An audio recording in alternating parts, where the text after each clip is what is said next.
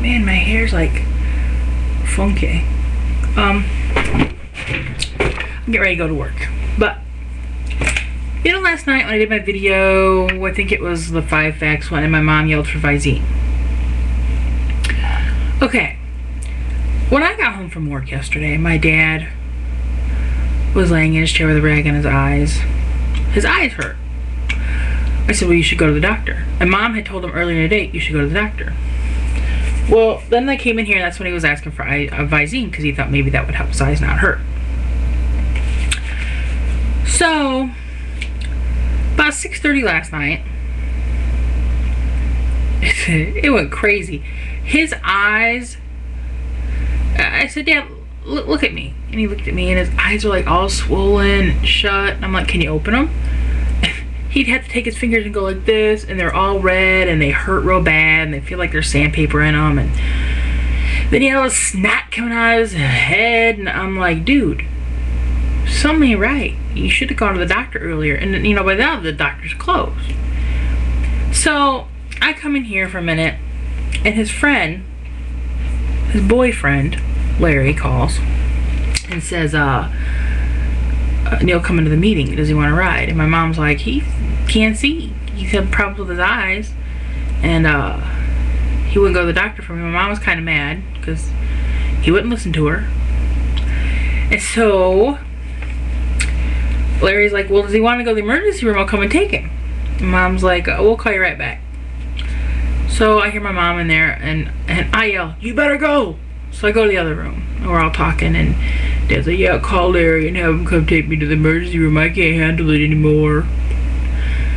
So here he is walking around blind and my mom's getting his wallet ready. She puts the wallet in his pocket and says, Neil, you have your driver's license, your insurance card, your list of medications that you take because he has to take, um, he has, he has blood pressure problems, but not, just, just something to keep it under control. And, and, um,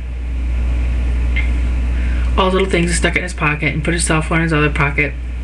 And Larry came and they left about 7 o'clock. And they were back by 9. Which, going to the emergency room, you know what a miracle that is. Well, they flushed out his eyes at the emergency room because it's a very small hospital near me, where I was born, actually. And they said, um, and they gave him some numbing drops, which Dad's like, I wanted to take some of that home, but they wouldn't let me. He says, they put those in, my eyes felt so nice for a split second. Then it wore right off.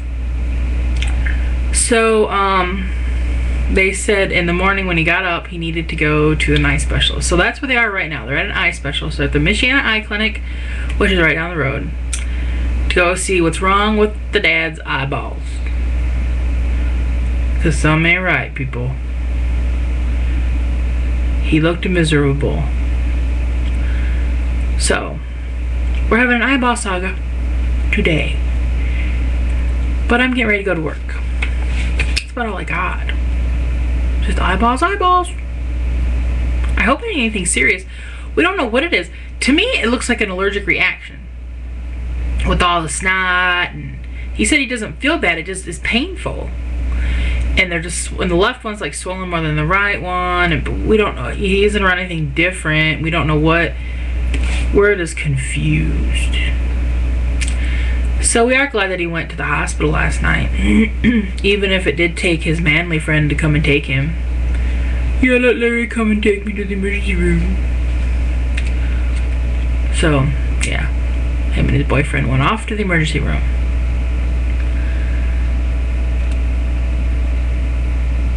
So, that was our saga last night.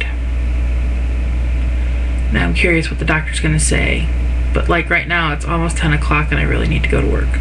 Pretty much all I have to do today is empty out my basket and I'm done. So I pretty much maybe have an hour or so worth of work.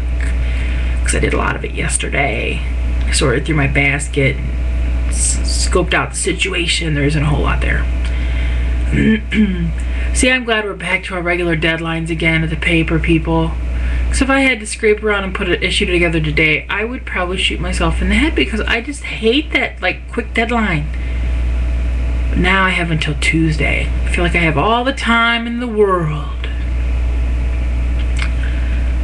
And our boss isn't there. He never came in this week. He never came in last week either.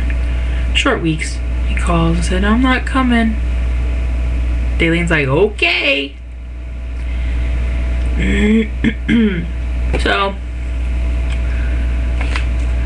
now I think I'm gonna go. Into the world. It's gonna be cold out there, I know it. Because we have snow. Snow, snow, snow, snow. Alright. Bye! I just wanted to tell you like the eyeball saga. Has anybody ever had anything like that happen to their eyeballs? Anybody? I wonder who this is. Let's look. Oh, it's the boyfriend. I'm gonna go now. My dad's boyfriend.